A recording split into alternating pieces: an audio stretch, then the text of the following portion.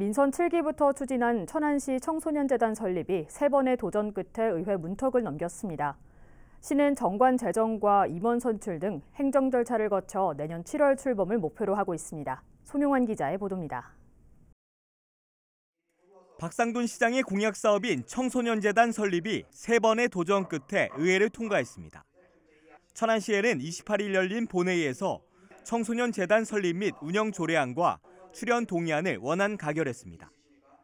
청소년재단은 수련관과 상담복지센터 등 청소년 시설을 통합 관리하는 컨트롤타워 역할을 하게 됩니다.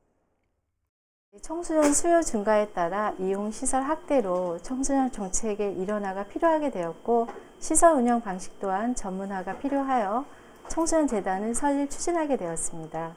앞으로 우리 천안시는 청소년 정책 환경 변화에 능동적으로 대응할 것입니다. 해당 조례안과 동의안은 앞서 2020년 12월과 지난해 3월에도 제출됐지만 부결도는 보류됐습니다. 박 시장은 부인했지만 선거 캠프 인사에 대표이사 내정설이 돌았고 인사청문회 등 철저한 인사검증이 필요하다는 게 민주당 의원들의 반대 이유였습니다. 이에 따라 이번에는 대표이사 등을 채용할 때 청소년 전문가로 구성하겠다는 단서를 달았습니다. 다만 채용 기준을 보다 명확히 할 필요는 있어 보입니다.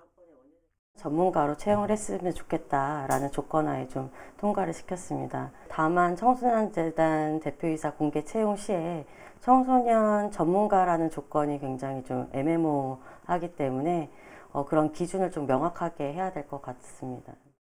청소년재단은 1사무국 2개 팀 13명으로 이뤄지며 정관 재정과 임원 선출을 거쳐 내년 7월 출범할 전망입니다.